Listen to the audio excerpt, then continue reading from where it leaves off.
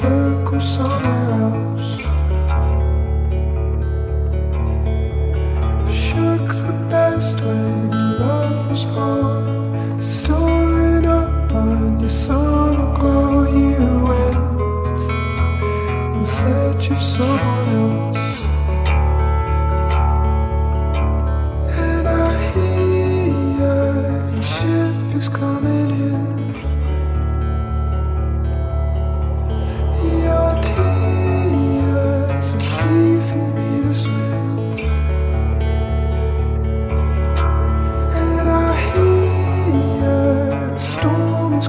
waiting